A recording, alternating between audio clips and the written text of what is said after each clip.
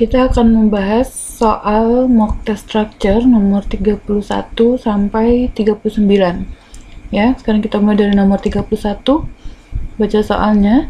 Theoretic mansions decorated with elaborate wooden ornamentation became a mark of wealthy and elegance in the United States in the late 19th century Theoretic mentions di situ posisinya sebagai subjek ya. Terus di sini ada dua seperti apa ya? Dua verbal, kata yang verbal yaitu ada decorated sama became. Kalau seperti ini langsung saja berarti verb dari theoretic mentions itu adalah became. Ya. Nah, karena di sini cuma ada satu klausa ya tidak ada subjek verb yang baru. Jadi kalau di antara sini ada subjek lagi baru mungkin decorated. Ini pasangannya si theoretic mentions tapi karena nggak ada subjek lagi di sini ya ini kan cuma object of preposition. Yang ini with elab um, with elaborate wooden ornamentation. Itu cuma object of preposition. Oke okay, berarti decorated ini adalah keterangan dari Theoretic Mansions yang mana yang didekorasi dengan ini. Nah, sampai di sini. Tutup kurungnya. Ya. Sekarang kita analisa lagi. Threatened Mansions decorated berarti ini pasif ya yang didekorasi si threatened mansion ini didekorasi dengan berarti ini betul ya. Terus elaborate wooden ornamentation ornamentation dari wood yang hmm, dielaborasi benar ya terus uh, became a mark of wealthy and elegance oke okay. became ini tidak ada masalah ya Berarti yang Turatit mention ini dia menjadi. Nah, menjadinya berdua is not a problem ya. Karena dia ngomongin late 19th century. Sudah lihat kejadiannya. Jadi C juga benar. Ya, kalau begitu D yang salah. Nah, kenapa dia salah? Coba lihat di sini. Ada wealthy and elegance. Elegance sudah digaris, sedangkan wealthy-nya digaris. Ya. Nah, elegant itu karena ada ini Nah, golongan katanya noun. Ya, elegance itu noun. Sedangkan wealthy ini biasanya kalau ada yang y itu di belakang itu kan berarti uh, kata sifat ya, adjektif. Nah, kalau kita pakai kata hubung n, kata yang dia hubungkan itu harus sama kiri kanannya. Jadi kalau di sini noun harusnya yang wealthy ini juga jadi noun bukan malah adjektif. Nah, apa jawaban seharusnya? Itu harusnya dia wealth saja. Ya. Jadi yang salah itu yang D. Harusnya wealth saja. Oke. Okay. Next. Number 32. Most of our ideas of what ancient people looked and dressed come from the works of Renaissance. Most of our ideas of ini keterangan ya what berarti ada kata hubung mulai buka kurung what ancient people look and dress ini verb, ini juga verb yang dihubungkan oleh n ya. Ini ada verb lagi, berarti mereka tidak dalam klausa yang sama. Nah, ini subjeknya. Terus verb dari most of our ideas itu come. Nah, Most of our ideas come from the works of Renaissance. Tidak ada masalah dengan uh, di C sama D ya. Oke, sekarang coba perhatikan yang di dalam sini. Nah, what ancient people look and dress? Apa ancient people terlihat dan berpakaian? Ini yang masalahnya ada di sini. What? yang benar itu seharusnya how?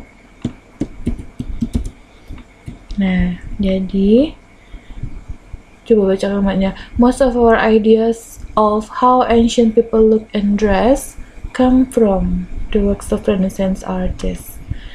Ya jadi kata hubungnya salah. Jadi yang kita jawab itu yang A. Okay next number 33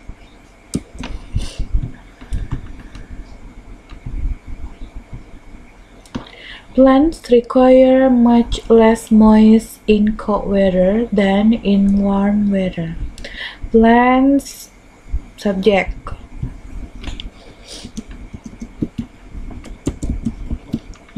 require ini verbnya ya dari plants. Plants kan plural. Require-nya uh, dalam bentuk verb satu saja. Tidak ada s berarti benar. Ya. Aduh aduh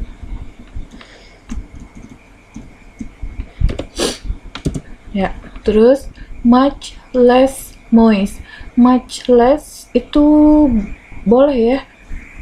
Much ini uh, maksudnya lebih lagi. Kalau less itu kurang. Jadi jauh lebih kurang ya. Gimana mengartikannya itu? Pokoknya jauh lebih sedikit ya. Nah moist. Yang tidak tepat itu moist ya harusnya di sini moisture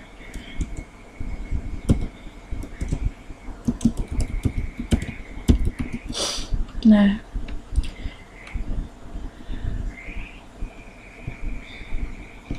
bagian moist ya. How to, how to, how to. Oke.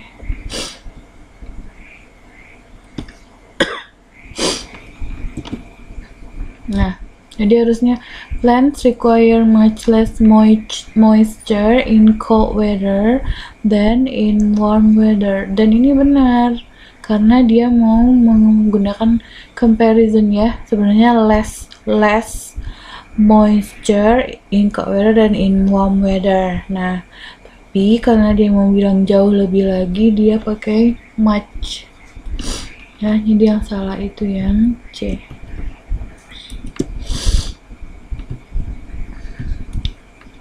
next number 34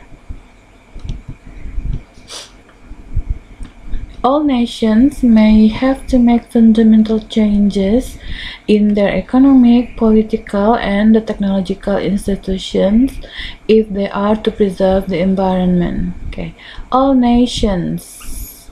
Subject may have to make. Nah, itu semuanya adalah verb ya. Jadi may ini kan modal, have to make. Boleh ya. Kan benernya verb satu ini fundamental changes benar tidak masalah ya. Jadi perubahan yang fundamental in their economic political and the technological institutions. Nah ini kan ada koma koma terus diakhiri dengan n. Ada tiga satu dua tiga parallel structure yang semuanya membicarakan tentang institution. Jadi economic institution political institution, technological institution. Seharusnya tidak pakai the di sini. Ya, harusnya nggak pakai the. Jadi ini salah. Kita pilih jawaban yang C. Yang D ini benar. If they are to preserve. Satu pakai verb satu karena di sebelumnya sudah ada verbnya di sini are ya yang jadi predikatnya. Oke, okay, next number 35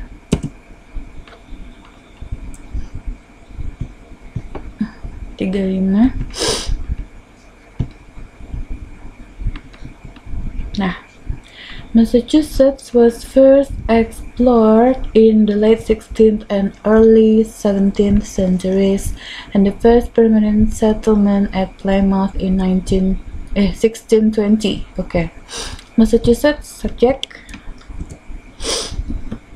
was first explore bener ya pertama kali di explore itu kalimat pasif. Oke okay, itu verbnya in the late jadi di explore di satu. In the late 16 sama early 17 century. Jadi di akhir abad ke-16 dan awal abad ke-17 nah kenapa dia pakai is di sini? Apakah dia menjumlahkan dua century ini late 16 sama early 17 kalau kita menjumlahkan baru boleh kita pakai centuries. Misalnya uh, two centuries dua abad. Nggak apa-apa terus ada two-nya. Kalau ini kan cuman memang benar-benar abadnya saja tidak ada penjumlahan. Jadi harusnya di sini dia tidak memakai is century yang biasa aja harusnya nah itu aja okay. Nah, first permanent settlement itu benar. Jadi settlement permanen yang pertama, tidak ada masalah. Ya. Ini eh. Jadi jawaban yang kita pilih itu C. Karena dia salah. Next, number 30, 36.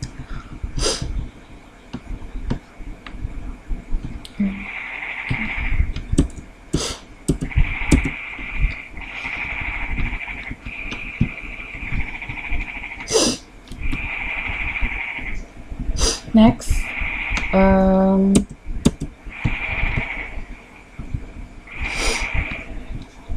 Sarah Vaughan had a voice like a perfect instrument and it was an instrument that she knew how to use it with the utmost skill. Sarah Vaughan itu subjek ya. Had a voice, had itu verbnya. Nah, had a voice like a perfect instrument jadi dia punya voice seperti instrumen yang perfect and it was an instrument. It ini berarti voice-nya dia ya. Ya dan it was an instrument. Nah ini kedua kalinya dia bilang instrumen di dalam kalimat uh, efektif ya kita tidak boleh kan sebenarnya mengulang satu kata ya jadi kita menggunakan pronoun. Jadi kalau seandainya kita ingin mengulang kata itu juga padahal kita sudah menyebutkan sebelumnya ya, di sini harusnya artikelnya bukan an, tapi harusnya the. Ya, harusnya dia pakai the ya. Nah, karena dia udah pernah menyebutkan instrumennya itu sebelumnya yang ini yang perfect instrument tadi itu. Oke, ini yang salah B.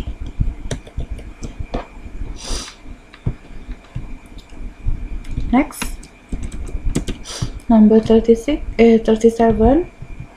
During early 19th century, the building of canals and railroads strengthened the state of Indians' links with the eastern United States. Nah, during early 19th century, terus ada koma. Berarti ini hanya keterangan waktu kalau di sini during ya. Jadi tidak ada masalah oke? Okay? cuma keterangan saja. Terus the building of canals and railroads strengthened. Oke okay, kita masuk ke kalimat intinya. Nah ini adalah subjeknya the building of canals and railroad. Strengthened itu verbnya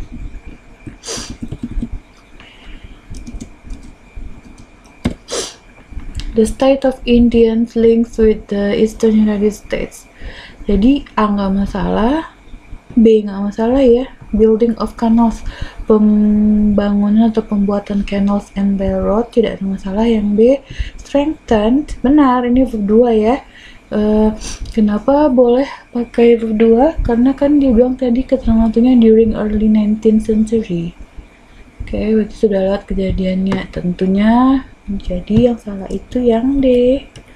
Harusnya links itu tidak dengan with, tapi tapi dengan to. harusnya di sini pakai to oke okay. beda jadi kalau link link to dengan link with itu maknanya berbeda ya. Nah apa bedanya? Coba lihat skill yang membicarakan tentang prepositions. Baca lagi yang bagian itu. Nah, sekarang lihat nomor 38 Maryland even though a certain state remain loyalty to the Union during the Civil War. Maryland itu subjek, koma koma. Berarti dia keterangan. Ya.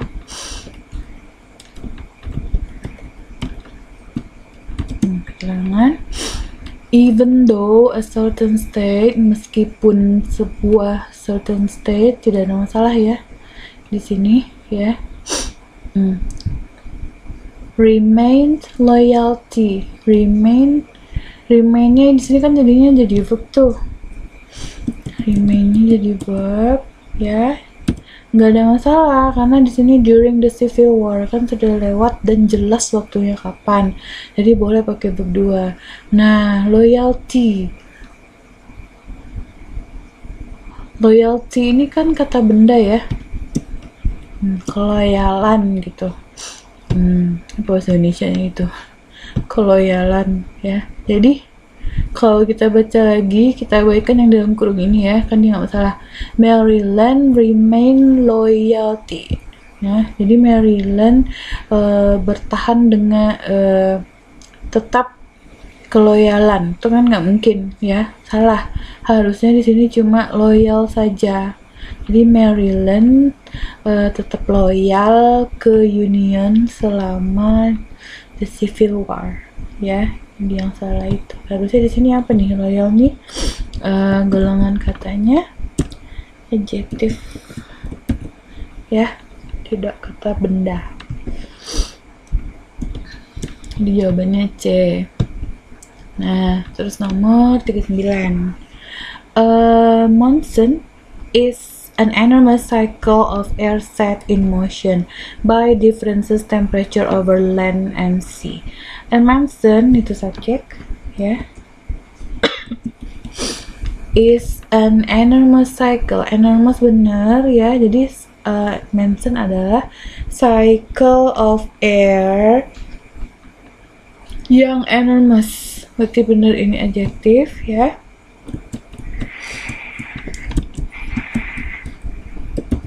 oke lalu uh, set.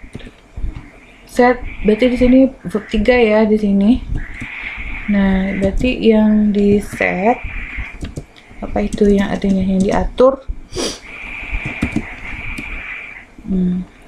in motion by differences temperature. Nah differences ini noun ya karena ada es nah ini noun terus uh, temperature juga noun kemarin kita sudah belajar kalau ada dua noun yang berdekatan ya. Maka yang penting itu adalah noun yang uh, paling belakang misalnya um, apa ya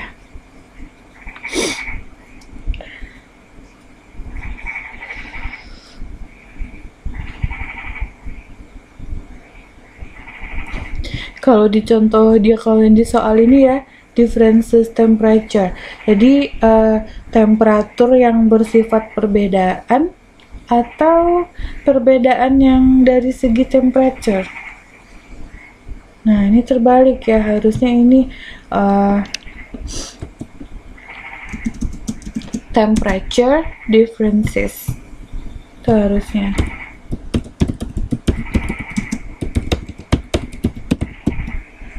terbalik. Oke. Okay.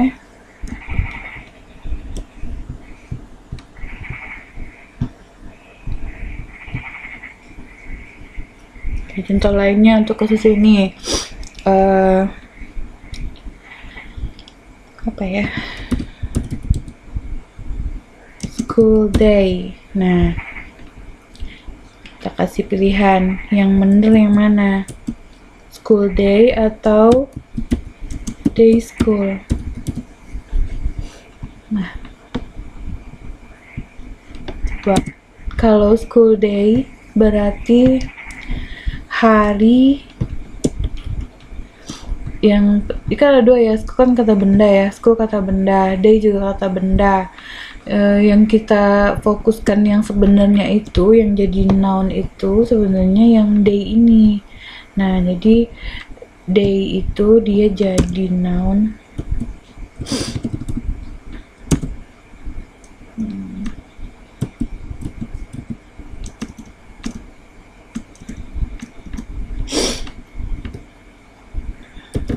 Nah, sedangkan yang school ini dia jadi uh, fungsinya jadi adjective.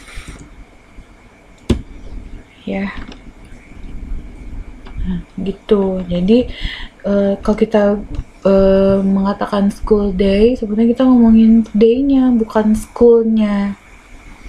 Ya, jadi hari school day berarti hari sekolah. Berarti pada hari itu uh, mereka mereka masuk sekolah itu namanya school day nah kalau yang di sini ya kalau kita anggap uh, schoolnya yang jadi poin pentingnya yang jadi noun sebenarnya. Nah coba kalau ini jadi noun. Ya berarti day-nya jadi uh, adjective. Coba jadi sekolah yang bersifat hari. Tidak bisa ya. Nah salah okay. hmm. tidak benar jadi jawabannya yang ini oke okay?